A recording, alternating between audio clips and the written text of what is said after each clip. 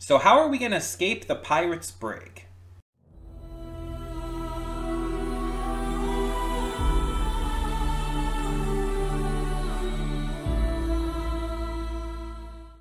Hey everyone, welcome to Princess of Gay. I'm your host Connie, and today we are here with Season 5, Episodes 8 and 9 of The Dragon Prince. The final two episodes of the season. So, yeah, we we are at the end of another Dragon Prince season already. And that means there's gonna be a wait before the next one. But I, I believe I was told that, like, I think it's the upcoming season, which would be season 7, because season 6 is already released, is going to be the final one. So, it is going to be closing out. We have, I guess, two more seasons to go after this uh, ending. And I'm I'm interested for sure to see how this is going to really wrap up and how it's going to even escalate from here.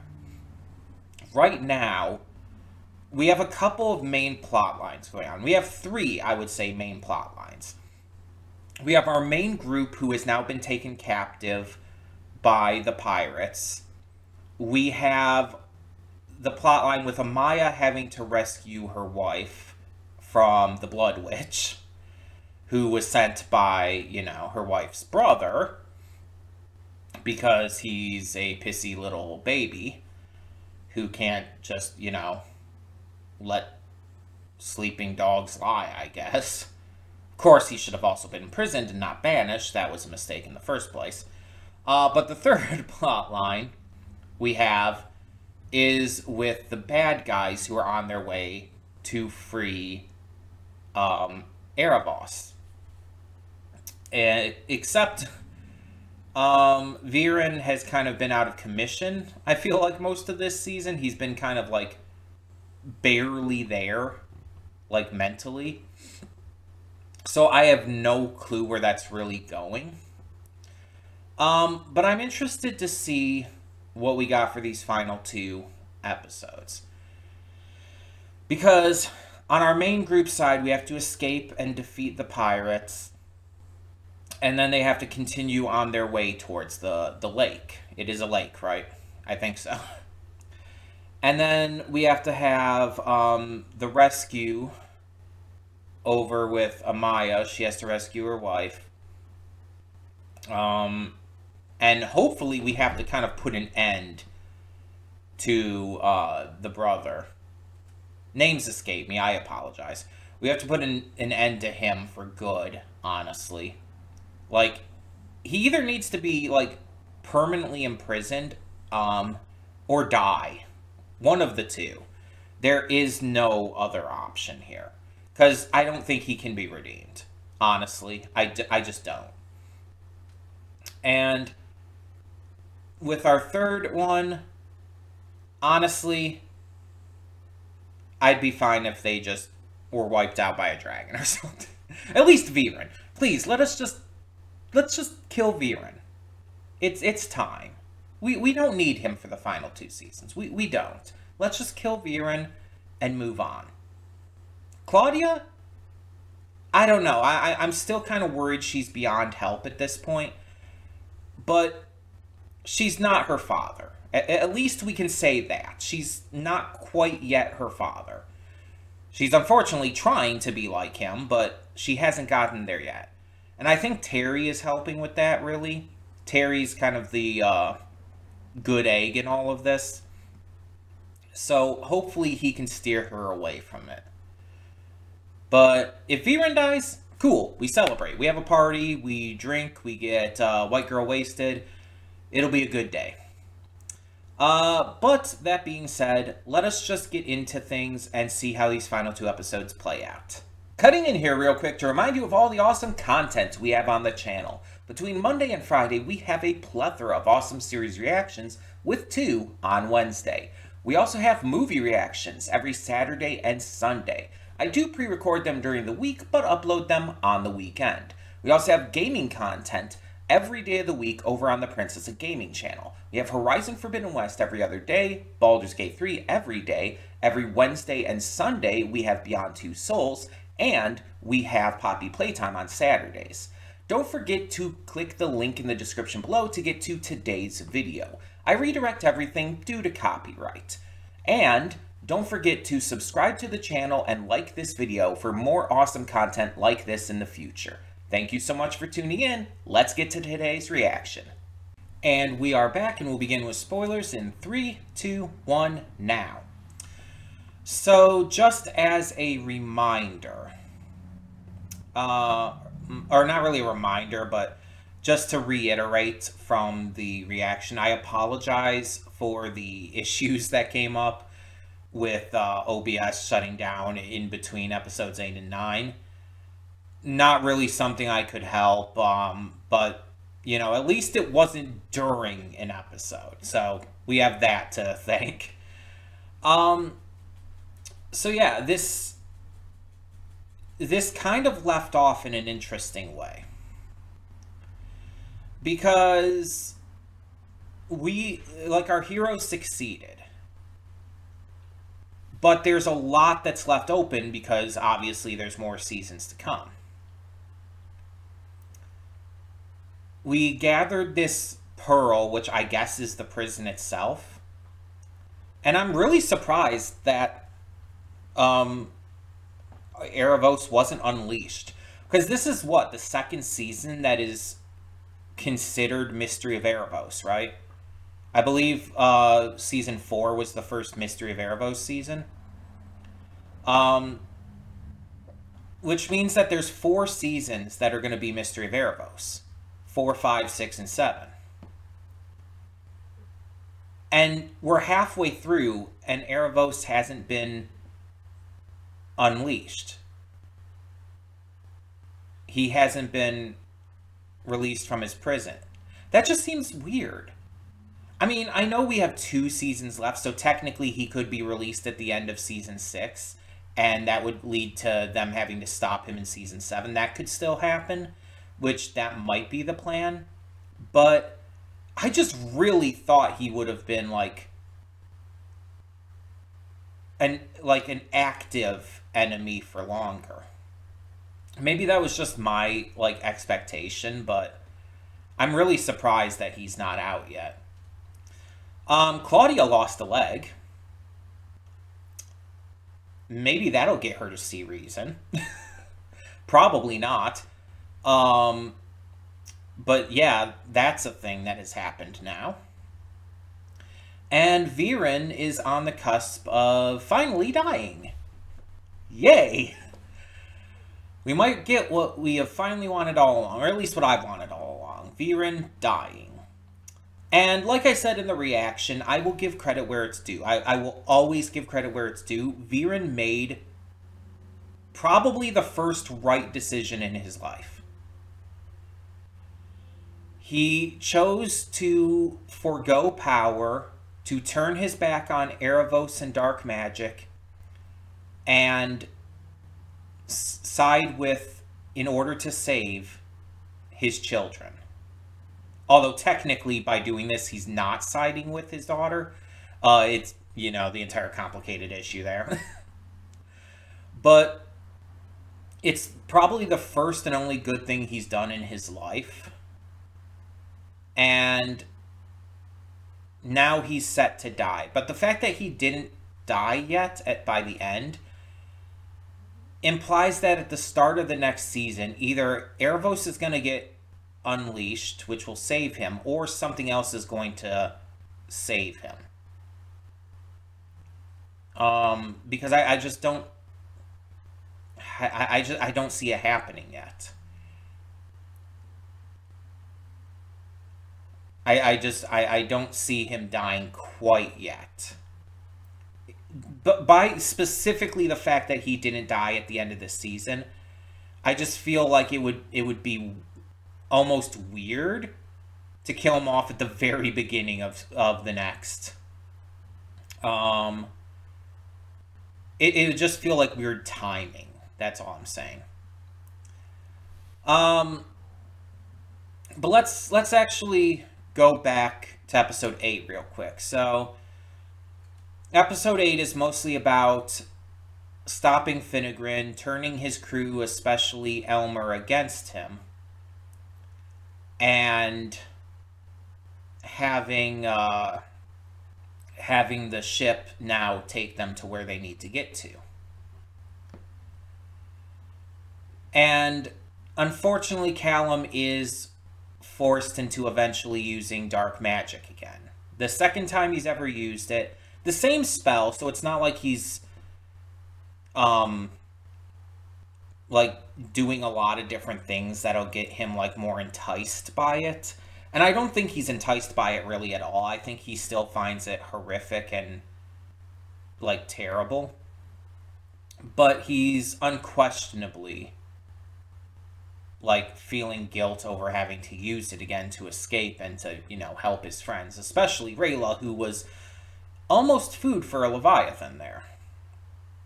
But he manages to save her, he manages to save everyone. And Soren is actually the one who helps turn Elmer against Finnegrin and is the reason that Elmer literally feeds Finnegrin to the fishes. um, it was it was a great moment. The only issue is I feel like there should have been a little more buildup to Elmer feeling used and put out and abused by Finnegrin. I, I really feel like there wasn't enough setup for that. It almost feels like it came out of nowhere in episode 8. Um, we, we have heard Finnegrin berating um, Elmer prior but there wasn't really much of any hint that Elmer was like against it or like really put out by it or anything. There wasn't really anything to kind of tell us that it was bad or it was being perceived as bad by Elmer. Like uh, there wasn't even like any kind of hint that uh that Elmer was his name and that he didn't like being called by the other name. So, which by the way, if it's not clear, I am purposefully not saying. Um, I'm not going to dead name Elmer. Even though it's not really a dead name per se, it's more it, it was just never Elmer's name in the first place. It's it was more of a I guess you could say more of a slave name I mean, I don't want to necessarily equate this to slavery for a lot of obvious reasons, but he was kind of being enslaved in a way by Finnegrin. And it's the name that Finnegrin specifically gave to him, specifically referred to him as as part of his, you know, forced control so there's a similarity there, but I, am not going to say it's like exactly the same thing because that would be just, you know, wrong and kind of messed up. But yeah. Um, I'm, I'm still not going to call Elmer by that name, nonetheless. Uh, so yeah, it, it was a very tense episode. It was interesting to see what would happen, but we knew it would come. We would come out on top in the end. We we knew how it would end out. So no real big surprises in that regard. Um, then with episode nine, we focus on reaching the lake, and basically the race and fight to find the prison and all with both sides using different kinds of magic in order to breathe underwater. Our heroes using primal magic that's, you know, respectful and nice and good. And then Claudia just turning herself into fucking Ursula from Little Mermaid. And it's just like, what the fuck? It's like, ma'am, why? and it's it's not even that long lasting. She has to keep uh, taking the potion for it to keep effect long enough.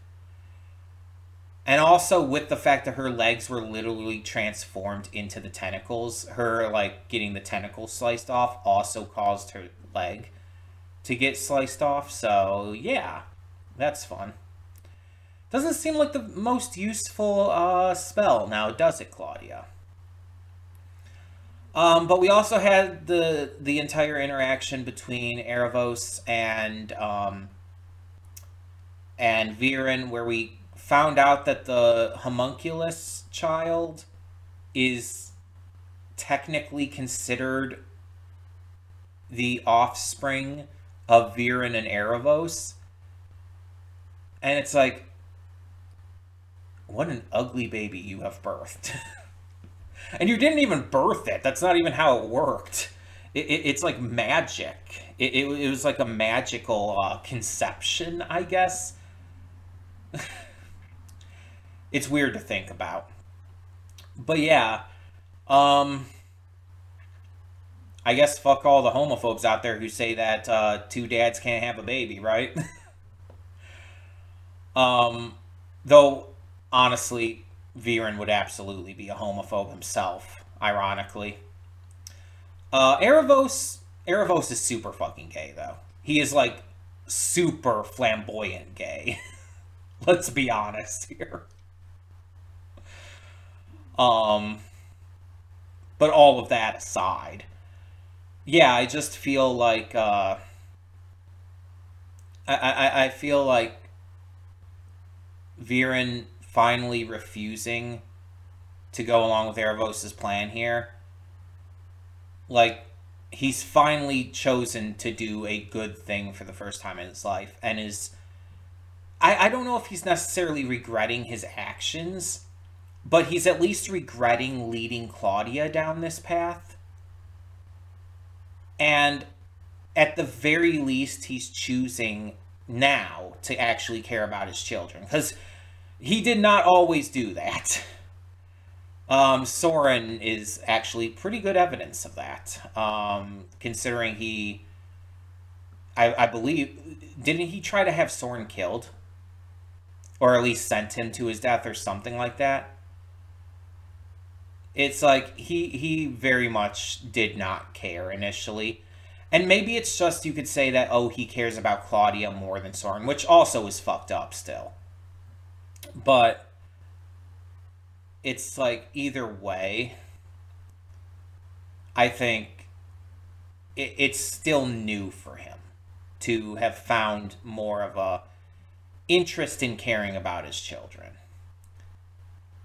I, I think it's more accurate to say that, you know, dying the first time uh, probably gave him some different insights into uh, into things. That that I feel is more accurate than trying to say like he just didn't realize he cared all this time. He didn't. He just didn't. He he would have absolutely sacrificed Claudia or Soren um in seasons 1 through 3. He would have sacrificed them in a heartbeat without hesitation to bring Aaravos into the world out of his prison. It he, no hesitation just to get more power. It's only because he died that he has chosen to, you know, kind of turn things around and see things differently. Which it should not take that, by the way. It should, it should not take that kind of extreme measure to make you see the difference between right and wrong. But again, at least he's finally, like, turning himself around to a degree. I still don't like him, and I still think the world would be better off with him dead. Especially since he just should be dead already. But, yeah.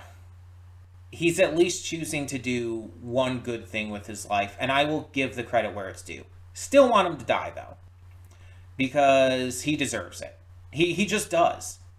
Like, one good action will not make up for everything else he's done.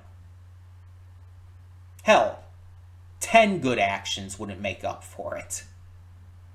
He's he I don't think he can make up for. It. I don't think he can make good on everything all the evil he's done at this point. The the only thing he can do is die. It sounds harsh. It sounds it, it, it sounds terrible, but there is a point of no return. There is a point where like someone is past redemption. At least in my eyes. It sound it, it, it sounds harsh, but there's certain things I just can't forgive and certain points where I it's like the person's too far gone. Even if they have like started to turn themselves around to some degree, it's like you are too it's too dangerous for them to exist in this world. They are too much of an active danger. If anything tempts them to go back to the dark side, like too many lives are in in, in active peril. And then with uh,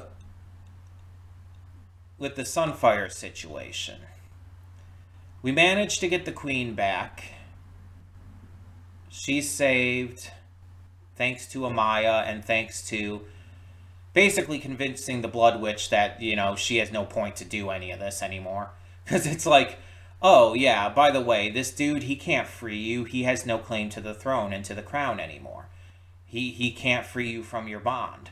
The only one who can is the queen, and you, if you kill her, she can't do that. You'll never be free. The binding around your neck will constrict you until it kills you. So she's like, yeah, okay, peace, I'm out. and so it's like, yeah, plans did not go according to plan until it did. Because unfortunately, his girlfriend in the army stole the Sun Seed, stole the army, and has now led them to stage an entire coup of sorts. So that's good. That's great. We gotta fucking kill him. Like, again, it, it's a case of, like, there's just a point of no return. And this is that point. I, I don't think there's any coming back from this. For him or his girl. I, I think they both have to die. This is too egregious of a sin, honestly. They are putting way too many lives in danger. They are too much of an active threat. They, they have to die. It's like, it, there, there's just no other way around it. Don't know how that's going to end up going, but it has to happen. And meanwhile, Zym's mother is still struggling to fight off the corruption. She has a dream seeing her late husband, which is really just her mind telling her that she needs to fight through this. And she manages to make it to the forest before collapsing and is seemingly being helped by a mysterious mushroom mage who I don't think we've seen before. I don't think I recognize him in any way. Um, but he's helping her, from what we can tell. And that's really good. That's really good for a lot of obvious reasons. So we're left off with a lot of things set up for the next season. I just, I guess we'll have to wait and see how it goes until we end up getting to season six. I don't know when that's going to end up being, just whenever I end up choosing to get to it. Um, it might eventually pop up on another uh, wheel, another randomizer wheel for uh, future um, donation reward reactions. So we might end up actually getting into it a lot sooner than you think. But speaking of, this was the end of the season. We do need a replacement for Thursdays. So we need to once again bring up the wheel. The wheel of names. Let me get this up. So, to just go over everything that's on here again, we have Cabinet of Curiosities for Matthew Vasquez, Symphogear GX for Calypso, Lovely Complex for Specca DeGrau, Unicorn Warriors Eternal, and Invincible Season 2 have unknown donators. Uh, Mo Dao Zushi for Dice, Lucifer Season 2 for Venom, and then there were none 2012. I can't remember who that's for at the moment, but it'll tell once it comes up. And how to keep a mummy for um, Um, oh God, the name is escaping. Isabella. So, like always, I want to make sure that the wheel is full of different people's stuff, just to make sure that everybody has a chance of uh, being chosen. Um, so there's no repeats of people on here. So like, even though Venom donates the most to the channel, only one of Venom's uh, donation reward shows is on here right now. And as you see, that's Lucifer Season 2. So, yeah, we're going to spin this, and whatever is chosen is what we're going to get to next. Um, I guess we will end up seeing. So let us let us just do this. What are we going to get? It looks like it's Lucifer Season 2. Okay. So Lucifer Season 2 is our winner. We will uh, be getting to that right away starting next week. Um, we'll touch on that when we get to it next time, but just as a reminder and everything, I do I did really enjoy season 1. There were some parts of it that weren't the best, but that happens with every show. But I did really enjoy it overall, and I'm very interested to see where we get with season 2. Um, so, thank you all so much for tuning in. Let me close this. Uh, let me know your thoughts on these final two episodes of Dragon Prince Season 5. And thank you to Smurf uh, for donating for this, uh, for conti- for donating for this series back uh, when you did. Um, like I said, we'll get to Season 6 at some point in the future. For now, though, again, thank you so much for tuning in. And I, uh, I'm Connie. I'm signing off. See you all next time.